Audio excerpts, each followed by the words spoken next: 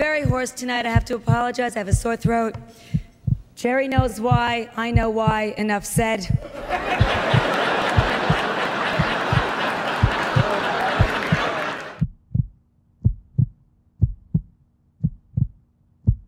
Where's the head?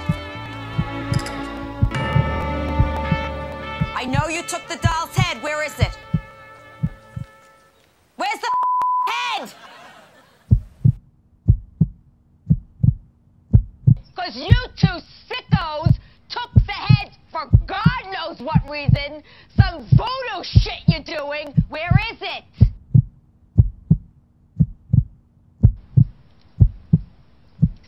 Stop your balls and tell me where it is. comedian and an actress who stars in the HBO series Curb Your Enthusiasm. Very funny and talented actress and comedian who stars on HBO's Curb Your Enthusiasm. She also written a book called What Would uh, Susie Say?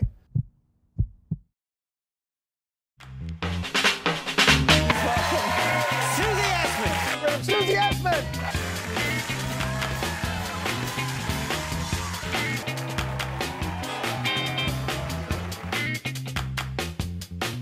Over yesterday, you went to the bathroom and you choked it on Sammy's teddy bear as some kind of revenge masturbatory payback. Okay, I didn't do that. I, Oh, I don't bullshit, you're a fucking what? liar. Yeah, I, what, I did that? Are Yes, you you did. crazy? Huh? Ejaculate. Right? Who the fuck is this? Who's this? That's uh, Leon, Loretta's brother. What's up? What's up? What's up? What's up? Mm. Tell you one thing. Like a woman with a smart ass mouth like that. Yeah, well, fuck you too. I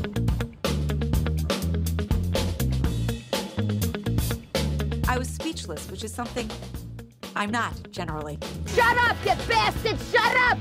I'm very close to putting him in the oven, Andy. I have to tell you. These days, she's one of the voices in the new animated film from Disney called Bolt. You hungry?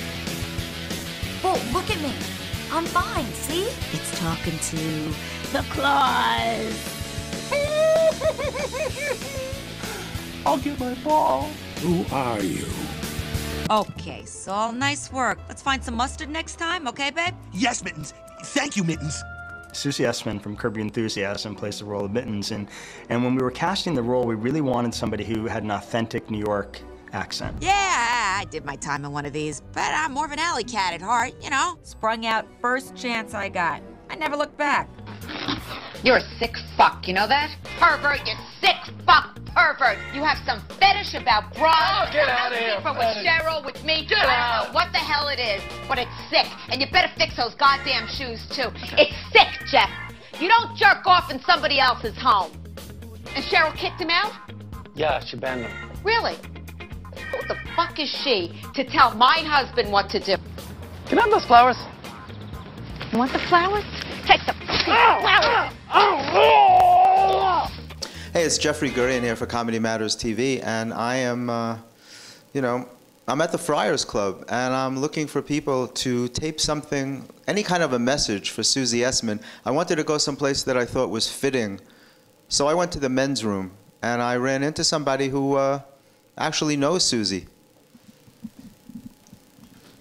Susie, I'm, uh, you know, actually, it was she, she stole that uh, location. I, I wanted to come to the men's room, not because I go to the bathroom a hundred times an hour, but because I know you're being honored. Have a great gala, number one. It's a very important gala.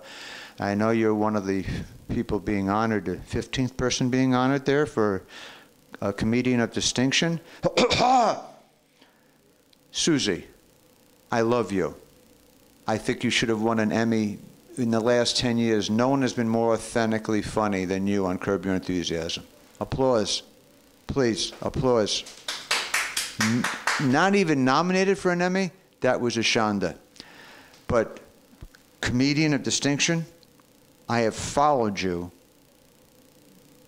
many times when we toured together, and you let me go on last because I've been doing this 45 years. And you, you think it's uh, easy when you come out and right out of the gate say uh, what things like I was on Sesame Street and V is for vagina, little boy. This is not distinguished. This is, you know what I'm saying? You're hilarious. Buddy Hackett did this kind of stuff. You are an explosively funny, filthy undistinguished comedian who happens to be brilliant and lovable and one of the great comedians of your generation. Congratulations, and now I got to take a leak. Cheers. Jerry, you know, you're, you, are you comfortable there? Not really. No. well, but you're so cute and adorable, and I just, yes, I just find it hard to say all those kinds of mean, sexual things about you. But then I look at this dais and I think, these other miserable suckers I could have a field day with. King, Alan, do you ever think you'd live so long that your prostate would be as big as your ego?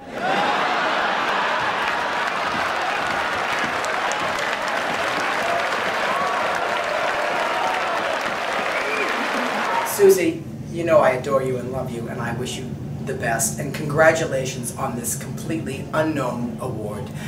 No one deserves it more than you. The Gold Coast Film Festival in Long Island, I'm so happy for you. 1937, I did a film called The Gold Coast. It was an unknown motion picture, it was a big bomb. But I was quite, quite successful in the role that I had to capture. But I love you, and I adore you. And you know, this is after two shows that I am doing this because I love you. So congratulations. I'll see you at dinner in a few weeks. Is here. You know, Maury, I've always wondered why you married Connie Chung. And then I realized we all know Jews love to eat Chinese. Once